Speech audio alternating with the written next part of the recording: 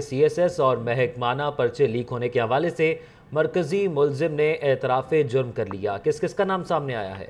جی مرکزی ملزم جو ہے، خالد حسین، جو فیڈرل پبلک سروس جو بورڈ تھے، اس کے نگران کے طور پہ کام کرتے تھے اور کہا یہ جا رہا ہے کہ تقریباً دو تین سالوں سے جو یہ ہے پرچے فروغ کرنے کے جو اسکینڈل میں ملوث ہیں۔ اس والے سے جو ابھی ایف آئی اے نے ابتدائی تحقیقات کی ہے، تو خالد حسن کی جانب سے یہ اطراف سامنے آیا ہے کہ اس نے سی ایس ایس اور جو ایف آئی اے کے ابھی کچھ حال ہی میں ہونے والے اسسٹنٹ ڈائریکٹر انسپیکٹر کے پرچے جو ہے وہ فروغ کیے تھے۔ اس والے سے تحقیقات کے سلسلے کو وسیع بھی کیا جا رہا ہے۔ ان کے موبائل فون اور لیپ ٹاپ سے تمام ڈیٹا جو اکٹھا کیا جا رہا ہے تاکہ پتہ لگایا جا سکے کہ کن کن لوگوں نے ان سے جو ہے پرچے جو ہے خریدے تھے۔ اس حوالے سے ذرائع کا کہنا یہ ہے کہ تحقیقات میں کیونکہ لینتھی ہے، اس